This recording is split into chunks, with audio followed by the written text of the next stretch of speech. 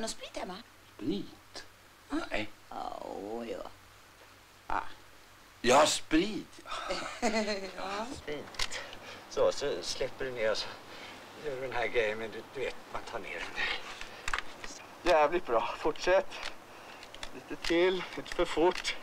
Bra. Lite till. Så. Och så kliver ur den där.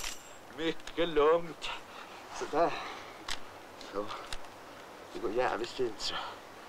Se inte så sur ut. Måste ju medge att det är ganska komiskt där va? ja, det är alldeles, alldeles ofarligt också. Men Bella tycker det är roligt att bli utvecklingsflicka, förstår du väl? Det gör alla flickor. Han får vad han vill ha och du får tillbaka dina pengar. Ja, men det förstår du väl? Du, eh, hur många sa du? Fem, sex om dagen? Va? Det är ju rent för jävligt. Va? Eh, men det blir ju en jävla massa kosing. Det är klart det blir pengar, men jag blir bara nervös. Man kan ju inte deklarera. Nej, nej, nej det är ju för jävligt. Så, ja. och sen så här är det. Snälla fru Gustafsson. Ja. ja,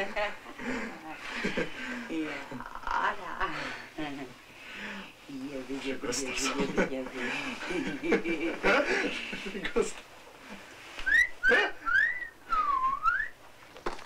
försök nu för en gångs skull få in i din arma träskalle vad det gäller. Stålar!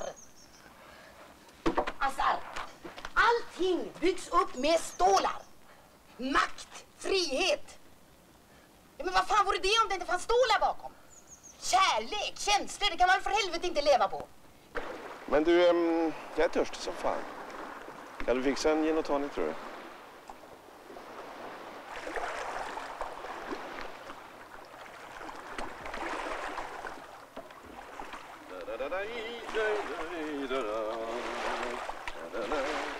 Vi frisörer vi hör ju så mycket roliga historier på dagarna. Jag minns särskilt en. Det slår mig just. Det var den här kejsaren, berömda romerska kejsaren i Paris, eller i eh, Rom.